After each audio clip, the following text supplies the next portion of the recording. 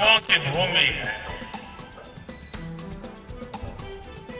शायद ही तीन सौ पैंसठ दिन में कोई एक दिन बचा होगा। हिंदुस्तान के किसी न किसी कोने में। नमस्ते, मैं हूँ सुरेश कुमार एकलवे और आप देख रहे हैं Hindustan news and tips.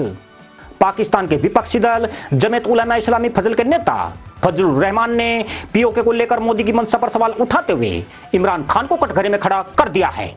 उन्होंने खैबर पख्तूनख्वा के बन्नू शहर में एक ऐसा बयान दिया, जिसके बाद पाकिस्तान के पैबंद लगे तहमद और ज़्यादा फट गए। फजलुर ने कहा कि इमरान मुगालते में ना रहे। भारत पीओके को लेकर अपनी तैयारियाँ पूर्ण कर चुका है। पहले हम सोचते थे श्रीनगर को कैसे ले पाएँगे। अब सोचते हैं मुजफ्फराबाद को कैसे बचाया जाएगा। भारत बीते दिन के साथ पीओके पर अपनी घेराबंदी मज़बूत करता जा रहा है।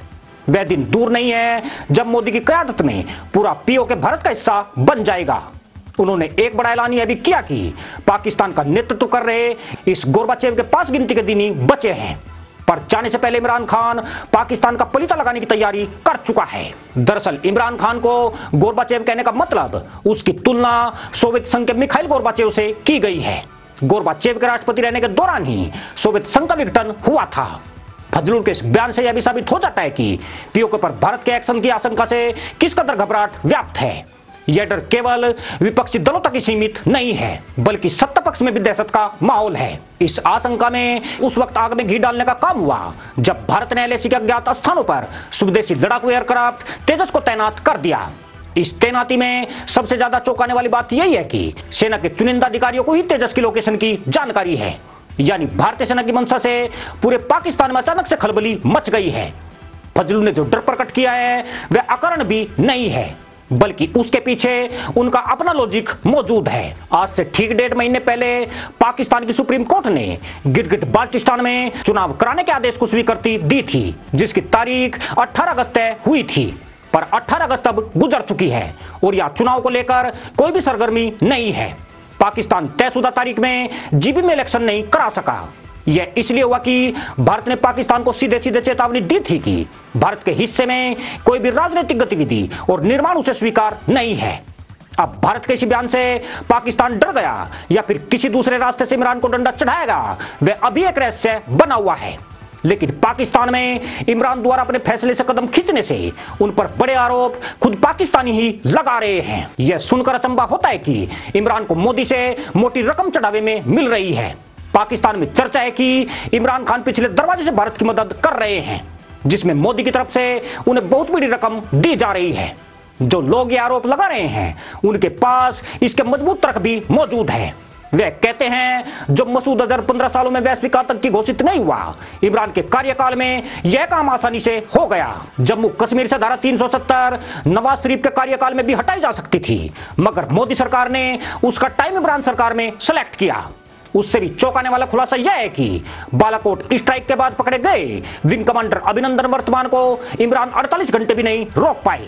उन्होंने बहुत ही आसानी से उन्हें भारत के हवाले कर दिया। इसके साथ ही इमरान विरोधियों के पास तर्कों की भरमार है। इमरान खान ने बहुत ही गंभीरता से पाकिस्तान में चालीस हज़ार आतंकी होने की बात अंतर्राष्ट्रीय मीडिया में स्वीकार की थी, जिससे पाकिस्तान को भारी शर्मिंदगी झेलनी पड़ी थी। उन्होंने यह कहकर पाक फौज को निक्कर पहनने को मजबूर कर दिया कि अफ़गानिस्तान में तालिबान को प्रशिक्षण देने में पाक आर्मी की भूमिका रही है। यह सब काम इमरान खान ने अपने दो साल के कार्यकाल में ही किए हैं, जबकि इमरान खान को पाकिस्तान में अच्छा प्रवक्ता माना जाता रहा है। उनके द्वारा ऐसे बयान देना लोगों को दाल में काला नज़र आता है। फजलूर ने मुजफ्फराबाद के जाने का संदेह खामा व्यक्त नहीं किया है। उसके पीछे इमरान के पिछले कारनामे और उनकी वे बयानबाजियाँ हैं, जिन्होंने पाकिस्तान की साख चौपट ही नहीं की, बल्कि पूरे मुल्क में घबराहट भी कई गुना बढ़ा दी है। लोगों को आशंका है कि इमरान अपने कार्यकाल में पीओके को भारत को ज़रूर सौंप देंगे। वे नया पाकिस्तान के नाम पर केवल पंजाब को बचाकर रखना चाहते हैं। बाकी प्रांतों को भी अलग देश बनाने की रणनीति वे बनीगाला में बैठकर तय कर चुके हैं। इमरान पर मोदी से रकम ऐठने के टोपीबाजों के आरोपों में दम नज़र आता है, क्योंकि जिस तरह वे मज़बूत साक्ष्य लेकर आए हैं, वे इमरान पर संदेह ज़रूर उत्पन्न करते हैं, क्योंकि इमरान खान ने कश्मीर के नाम पर पाक के तहमदबाजों को खूब उल्लू बनाया है। लोगों को याद है कि 5 अगस्त 2019 में मोदी द्वारा जम्मू कश्मीर का स्टेटस खत्म किए जाने के बाद इमरान ने कई बड़ी घोषणाएँ की थी। इसमें पहला बड़ा ऐलान यही था कि उन्होंने लोगों को एलएसी की तरफ़ कूच करने को कहा था, मगर दो दिन बाद ही इमरान ने उसे वापस ले लिया। फिर उन्होंने विरोध के दूसरे तरीके की शुरुआत की थी, जिसमें तहमदबाजों को दोपहर की नमाज़ के बाद 30 मिनट के लिए गधैया नृत्य करने को कहा गया। बाद में उस पर भी पलीता लग गया। यानी कहीं ना कहीं इमरान खान पिछले दरवाजे से भारत की मदद कर रहे थे और अपनी अनाड़ी जनता को पुचकार कर शांत करने में व्यस्त थे।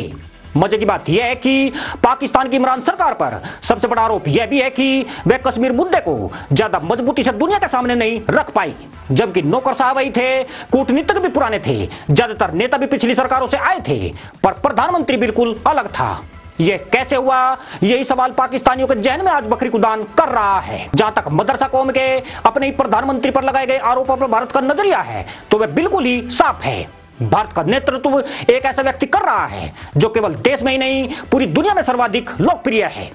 फिर जिस देश की कमान ईमानदार और परिश्रमी व्यक्ति के हाथ में हो, वह देश सदैव तरक्की करता है। पीएम मोदी क्या करते हैं या कर सकते हैं यह पढ़ पाना किसी के बूते की बात नहीं है, पर वे जो भी करते हैं, भारत के लिए ही करते हैं। उसके स्वाभिमान को प्रेरक और अटल बनाने के लिए करते हैं। 1948 की टीस उन्होंने 5 अगस्त 2019 में एक झटके में ही खत्म कर दी। पीओके को लेकर पूरे भारत का दृष्टिकोण स्पष्ट है। यह अखंड भारत का भी हिस्सा है।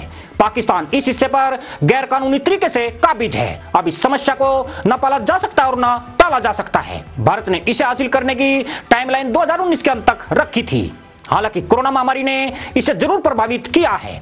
पर लगता यूँ है कि मोदी सरकार का इरादा किसी भी दृष्टि से कमज़ोर नहीं हुआ है। जिस तरह से सीमाओं पर हलचल है और एलओसी के साथ एलएसी पर फोकस किया जा रहा है, उससे यही प्रतीत होता है कि चीन के साथ पाकिस्तान की भी सामत आने वाली है। यानी इस बार केवल पीओके को ही भारत में शामिल करना लक्ष्य नहीं है, बल्कि इमरान के उस ख्वाब को पूर्ण करने पर ज़ोर है, जिसमें वह बनिगाला के शनकक से पाकिस्तान में चार देशों की आज़ादी को देख रहे हैं। वैसे भी काफ़ी वक्त से दुनिया में नए देश नहीं बने हैं। मोदी इसकी शुरुआत पाकिस्तान से ही कर सकते हैं।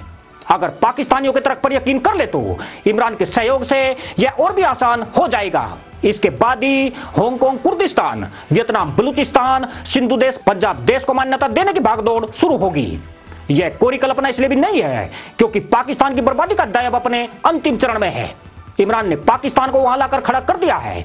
जहाँ पीओ के जाना तो निश्चित है ही, इस मदरसा मुल्क के चार टुकड़ों में विभाजित होने का वक्त भी करीब है। इसी के साथ अनुमति दोस्तों जय जवान जय किसान जय हिंद वंदे मातरम।